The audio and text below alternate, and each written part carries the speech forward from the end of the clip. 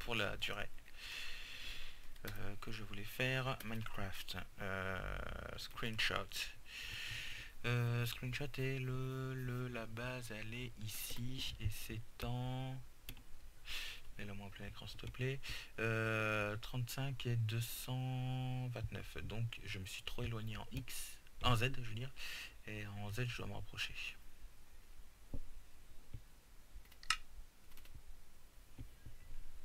ok.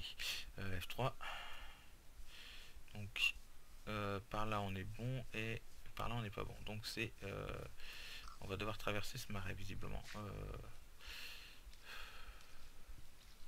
Entre le marais avec les witch et le et ça là avec les autres mobs je dois vous avouer que je suis pas bien rassuré. Et je n'ai plus que 4 steaks. J'espère que ce sera suffisant pour traverser la zone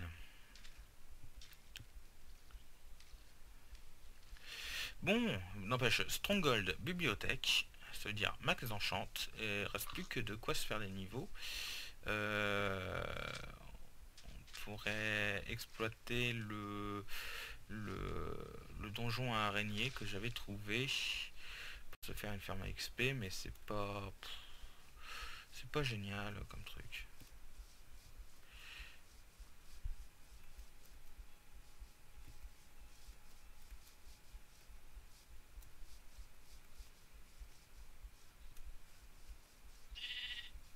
Excusez-moi, juste un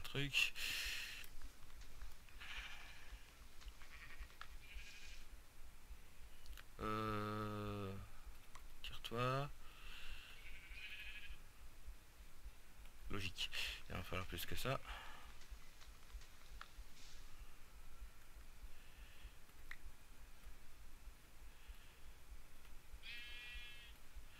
Et tu vas te mettre à la place de euh, du charbon que j'en trouve. Euh, et donc ça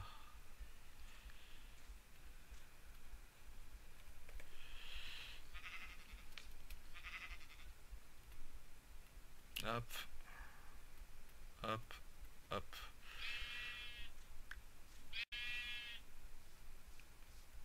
Voilà. Juste parce que je veux... Euh, allez, tant pis. Allez.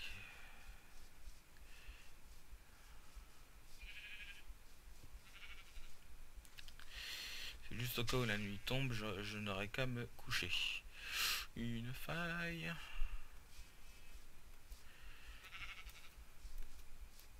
Je ne sais pas si certains d'entre vous ont trouvé la musique que je chante à chaque fois que j'ai une faille. Hein, mais allez, F3 plus A. Merci.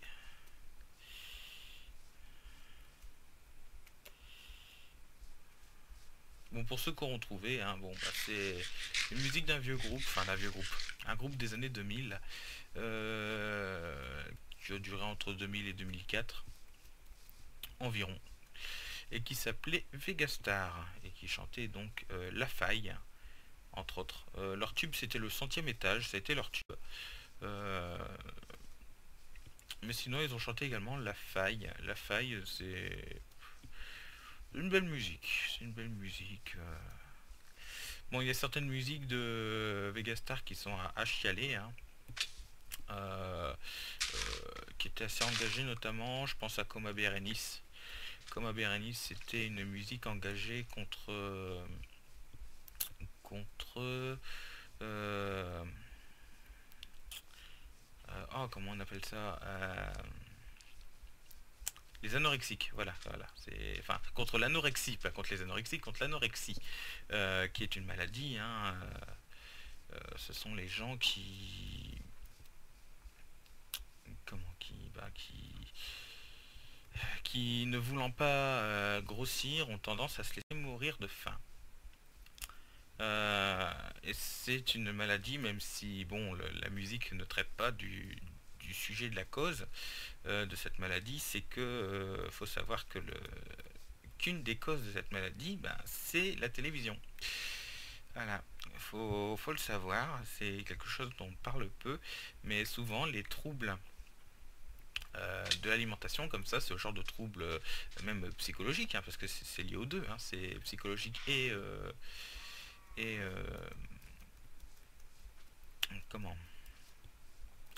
Psychologique et alimentaire, c'est la télévision qui engage ça parce que le message véhiculé par la télévision, c'est justement ça, c'est plus vous aurez, plus vous ressemblerez en fait au mannequin qu'on vous montre à la télé, plus vous aurez de chances pour plaire à quelqu'un. Mais c'est totalement fou, comme beaucoup de choses que, que raconte la télé. Hein.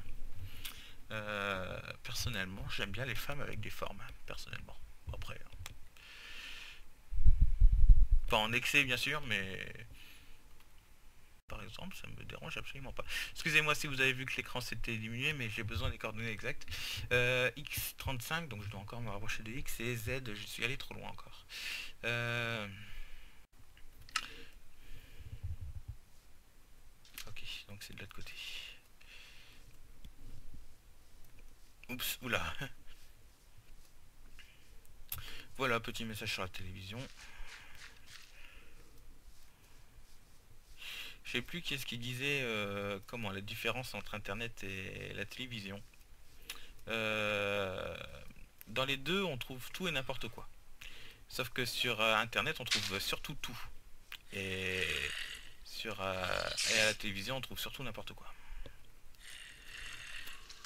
Voilà.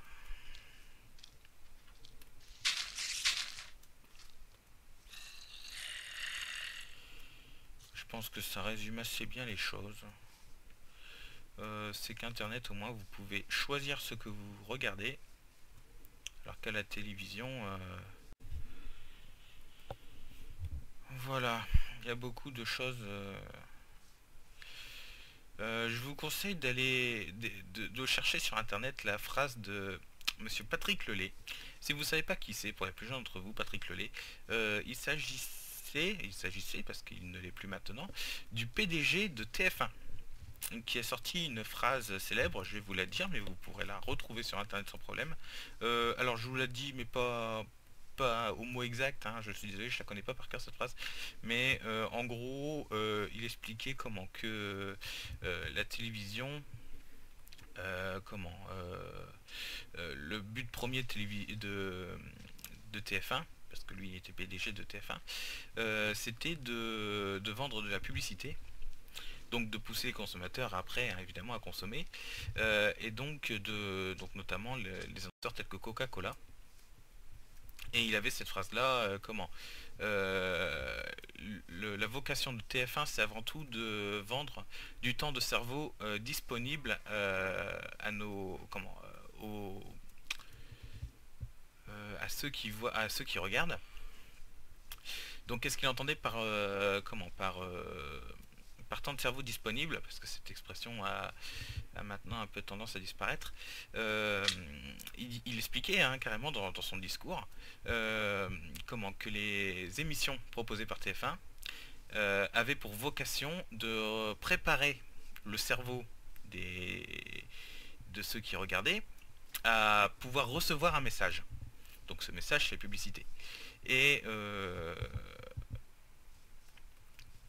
et, donc, euh, et donc voilà, donc c'est pour ça qu'il dit, euh, donc les émissions préparent le cerveau à recevoir un message. Ce message, c'est la publicité. Et donc ce que l'on, donc il a dit, hein, ce que l'on vend, enfin ce que TF1 vend à Coca-Cola, c'est du temps de cerveau disponible. Voilà, c'était une phrase qui, bah, je crois même que c'est la phrase qui lui a valu sa place hein, à Monsieur Patrick Lelay, mais, beaucoup de gens lui ont été reconnaissants d'avoir été honnête. Euh, parce que c'est ça a été quand même quelque chose qui a fait du foin. Euh, je dis peut-être des bêtises en disant que c'est la phrase qui a comment qui lui a valu sa place parce que maintenant je vous dis qu'il est plus euh, il n'est plus hein, le le PDG de TF1 mais allez voir sur internet cette phrase là elle est toujours trouvable la phrase de, Patrick Lelay.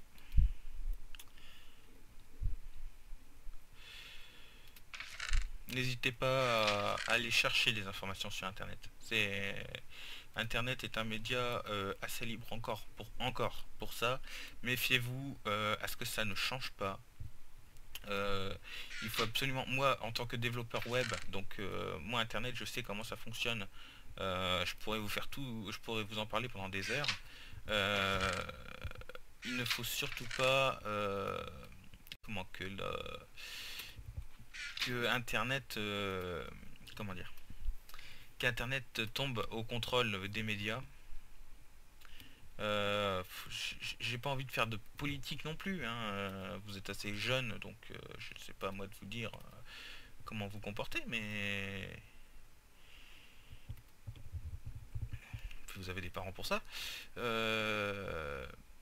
mais voilà, sur internet vous pouvez vous, documenter assez facilement sur certaines choses. Donc voilà.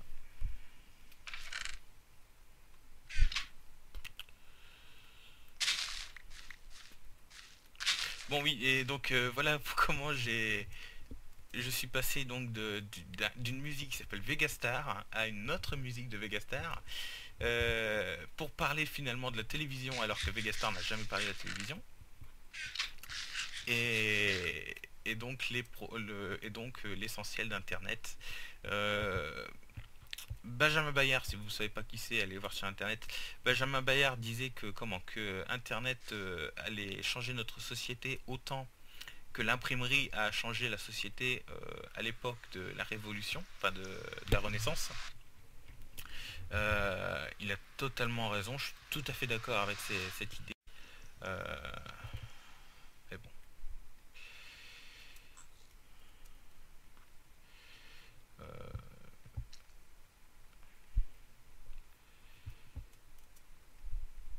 D'accord, ok, ça c'est toujours là.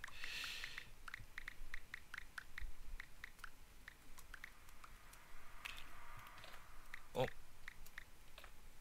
Efficiency que j'ai. Euh... Ce que je voulais, c'est ça.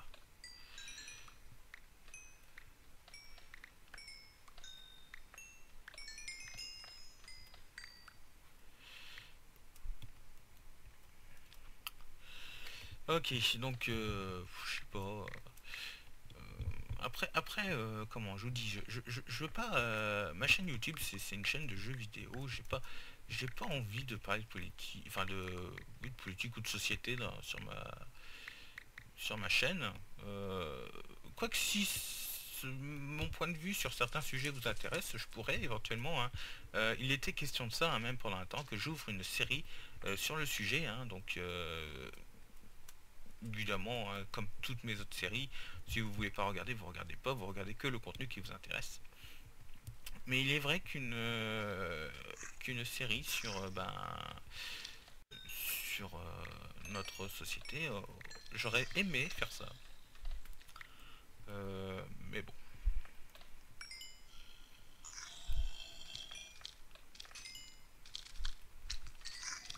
Et puis après, euh, bien sûr, j'aurais exposé que mon point de vue. Et vous, vous êtes absolument pas obligé d'être d'accord avec moi sur tout, hein, bien entendu. Moi, je suis assez euh, anti-télé, faut, faut l'avouer. Depuis que moi j'ai découvert l'univers d'internet, je ne regarde même plus la télé. Ma mère a une télé chez une télé, elle, la regarde tous les soirs. Euh, mais moi, je n'aime plus du tout ça. Euh, je l'ai regardé beaucoup étant enfant, hein. mais essentiellement voilà les, dessins animés, les trucs comme ça. Euh, mais, c'est vrai que maintenant, en grandissant, ben, je ne regarde plus du tout la télé.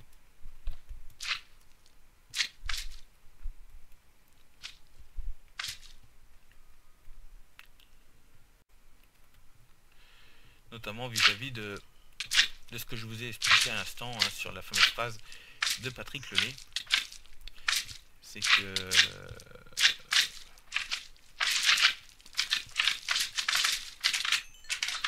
excusez-moi, mais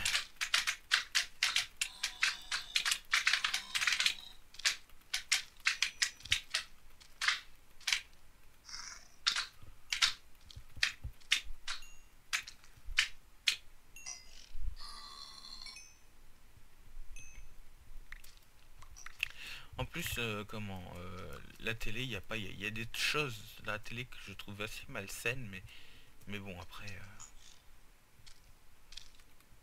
après voilà quoi. Vous n'allez pas me dire que la télé-réalité, vous trouvez pas ça malsain Surtout vis-à-vis du niveau intellectuel des, des gens qui sont dedans. Au niveau télé-réalité, moi j'avais regardé, c'est... Oui, résultat, on est en train de dévier un petit peu sur ma vie, là, j'ai l'impression. Euh, bon, bah ceux que ça intéresse comme ça, eh ben, ils auront une, petite idée. Euh, comment euh, Au niveau des télé-réalités, moi j'avais suivi essentiellement la première télé-réalité qui était sortie en France. La toute première télé-réalité, c'était Loft Story.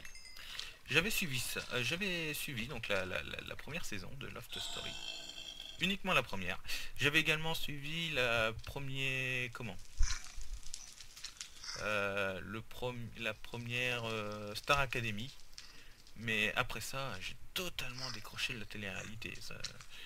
Euh, ce sont des choses qu'on voit qu'une fois et après c'est tout.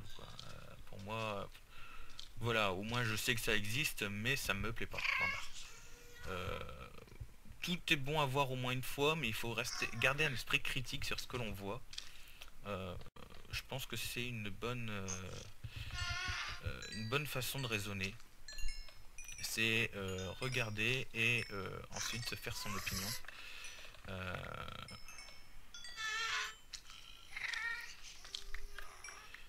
Et ça c'est surtout hein, absolument tout. Ne pas toujours prendre les, tout ce qu'on nous dit comme acquis. Tout, enfin, voilà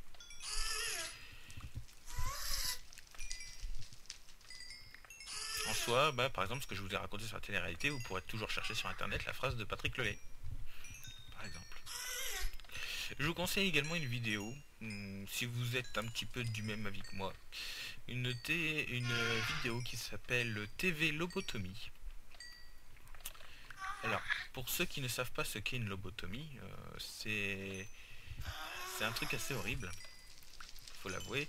C'est euh, une opération cerveau qui vise en fait à rendre quelqu'un bah, plus docile quelque part. Mais bon, c'est... Voilà quoi, c'est pour transformer les gens en l'autre quelque part, c'est ignoble. Excusez-moi pour le guest, on se tire de là. Euh, je m'éloigne en plus. Euh, voilà, bon bah vous savez à peu près tout sur ce que je pense de la télé et et vous avez une petite vue de ce que je pense également de notre société actuelle.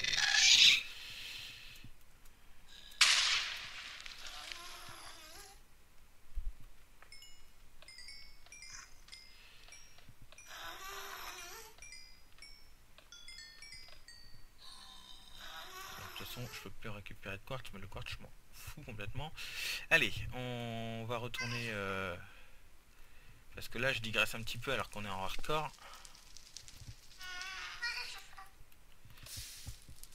c'est un mot que j'ai entendu récemment, ça, digresser. Non.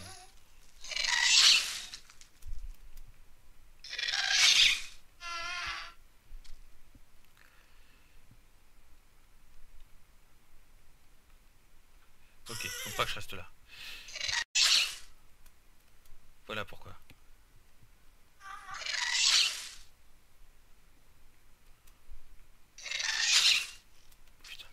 possible.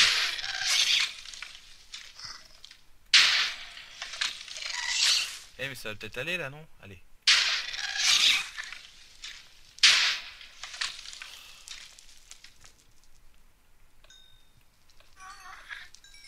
Bon, 26 niveaux. Le temps de parler, vous voyez, au moins, j'ai augmenté en niveau. Allez, on redescend.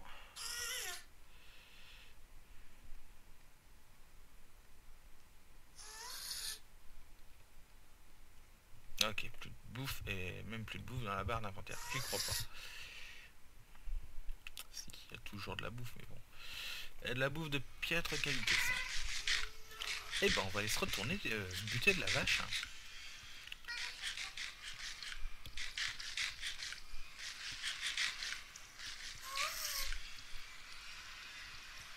Allez.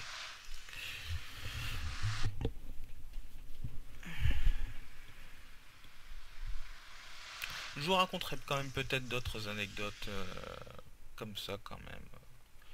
Si vous aimez. Si vous aimez pas, bah.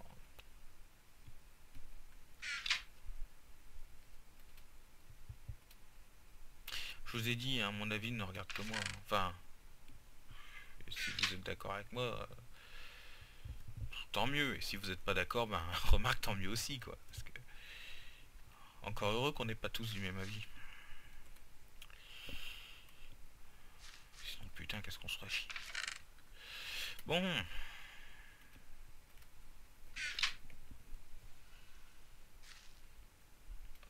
Bah, ça, c'est aussi un truc à, la télé quand même. Hein. Il y a très peu de gens qui sont pas du même avis. quand même bizarre.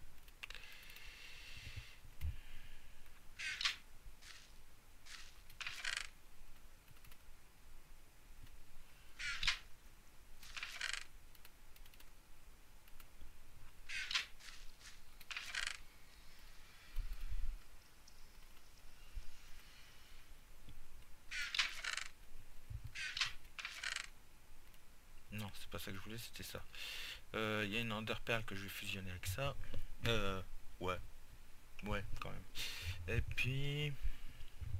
Hmm, qu'est-ce que j'ai d'autre pour les potions? J'ai ça. Hmm,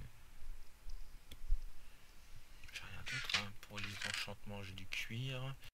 Euh,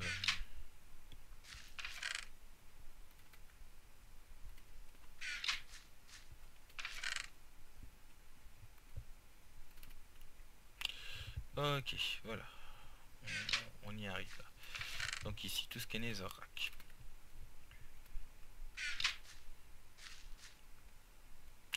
Ok. Hmm, on va encore libérer un petit peu notre inventaire. Euh, des flèches, même si voilà. Des os. Le bœuf, même si on en a qu'un, on va le faire cuire. Euh, ça c'est du fer. On va mettre avec le reste? Euh, sucre. Euh, on va se faire des potions de speed quand même. Ça peut toujours être utile des potions de speed. Euh, des torches qu'il me faudrait. Est-ce que j'en ai encore en stock? J'ai encore un stack de torches. On va le garder sur nous. De la ficelle. Des planches. Du quartz encore. Euh, ça, ça, ça. Et oui, quand même, pour revenir au sujet, je vous recommande d'aller euh, écouter euh, une musique, euh, enfin, les musiques de Vegastar. c'est sympa, c'est assez sympa. personnellement, j'aime bien, même si ça devient vieux et voilà. Et que c'est encore assez conventionnel comme, truc, mais est-ce que je peux me le faire ça? Je réfléchis à un truc. Euh... Attendez. 9, euh, euh, oui, non, attendez. 9 x 8. Euh, non. Ici, c'est ça, 9 x 8. Euh, 60... Putain la vache euh, 72 or pour se faire la maxi golden apple.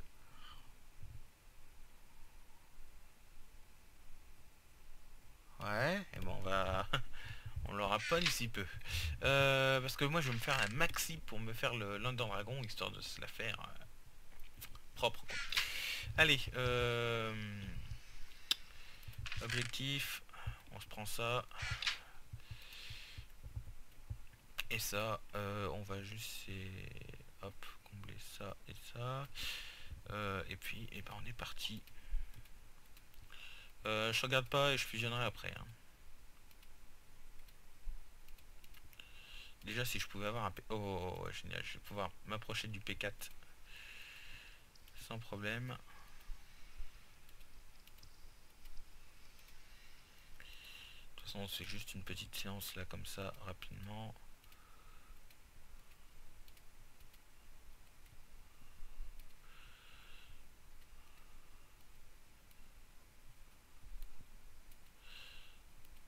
Euh, excusez-moi, je regardais là-haut, voir si euh... Ah oui, c'est pareil, on a le nombre d'entités. Euh... Entité 72, ouais.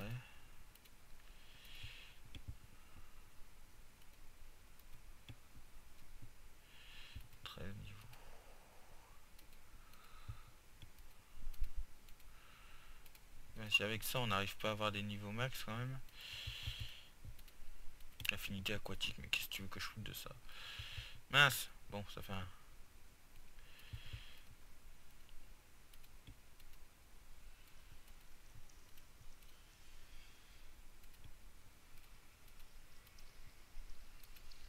Ok, les protections 1, on en a. Hein. Ok, oh, on peut en fusionner que deux Ouais, bon. Euh, bon, on va fusionner deux P1. Ok, euh, pour le moment, on va foutre tout ça là-dedans. On triera plus tard.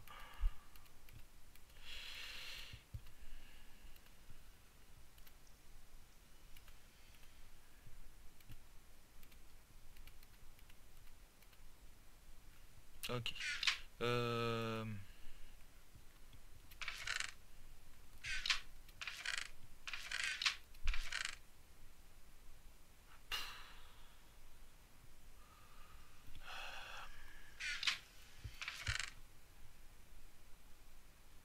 Oh puis merde.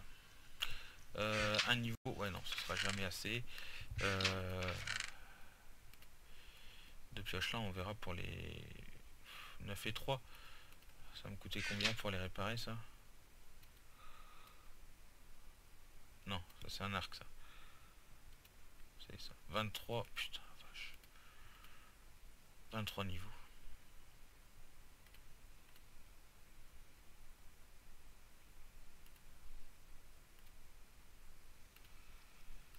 Tant pis, on va les finir. J'ai pas eu de fluidité. Mais je crois que les fluidités, il faut aller dans les hauts niveaux pour les Euh...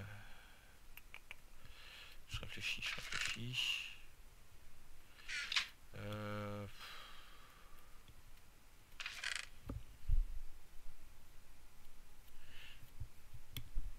Il y aurait moyen de farmer un un minimum d'XP quoi, pas, pas énormément. Euh,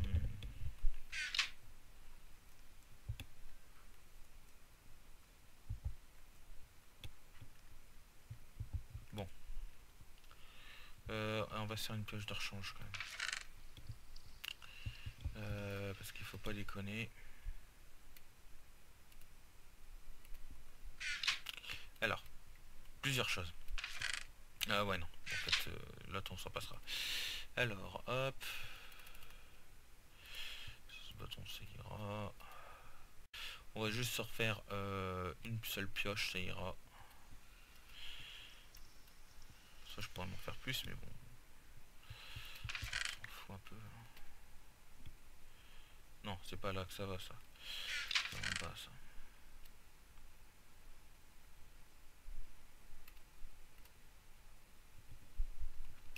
Ok, on est reparti pour le Nether. En soi, je pourrais aller jusqu'à ma forteresse. Et encore farmer les...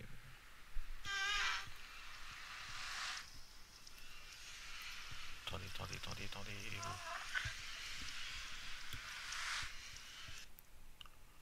Va quand même éviter euh, euh, les mauvaises surprises. Je les fais pas en splash. Euh, on verra plus tard pour les splash.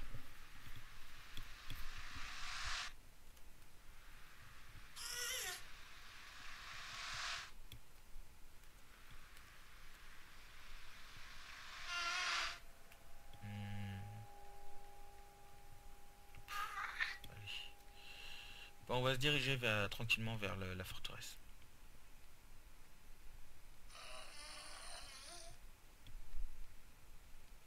Pareil, j'ai plus de bouffe descente.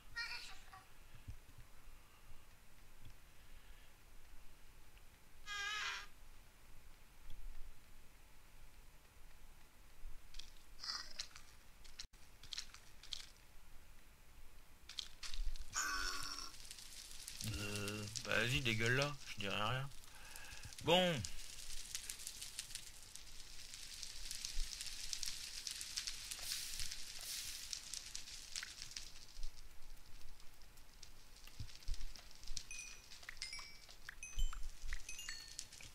une de fête.